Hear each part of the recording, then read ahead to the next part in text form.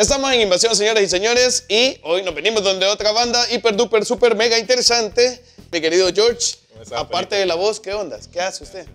Eh, dentro de Camelo, aparte de la voz, soy multiinstrumentista. Multi-instrumento. Eh, Defi- lo cual espérate, significa definamos. que soy el que más carga cosas.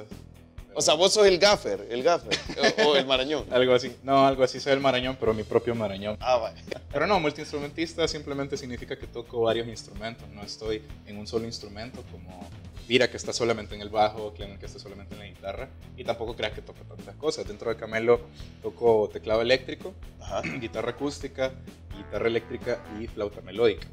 Aparte soy vocalista y eh, tengo la suerte de... Uy, hijo, mira que tenés una gran disciplina para haber aprendido tantos instrumentos. En las redes sociales, ¿cómo aparecen? Arroba camelo.sv, everywhere, Ah, vaya. to- todos lados. No hay donde perder. Eh, y están en todas las plataformas de descarga musical. Así es, en Spotify, iTunes, Deezer, Google Play, Amazon, donde sea, en YouTube. Hasta en el centro.com para que usted vaya a darse una Chivo. vuelta. Sería, sería bueno hacer un mix.